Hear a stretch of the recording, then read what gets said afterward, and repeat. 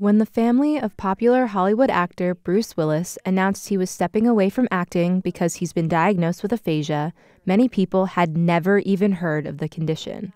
It's a brain disorder that leads to problems with speaking, reading, and writing, and it causes people to lose the ability to understand and express speech. The primary knowledge is that um, it is not a cognitive disorder, it's a language disorder. It is not a disease in and of itself, it's the result of something else. Many also don't know that here at Penn State, the Semantics, Aphasia, and Neurodynamics, or SAND lab, focuses on finding ways to improve the lives of those with language disorders, including aphasia.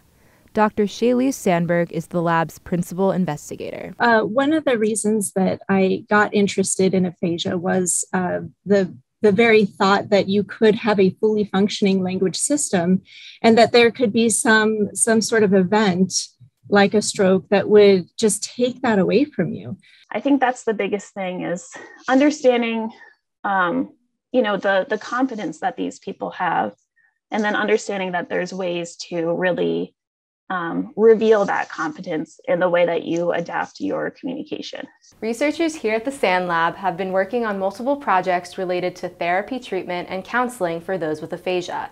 They hope that their research will help some of the millions of people impacted by this condition. In University Park, I'm Casey Zanowic for the Centre County Report.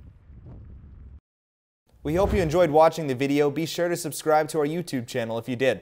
For the rest of our newscasts and featured stories, click here. And for sports, click here. Have a great day and thanks for watching.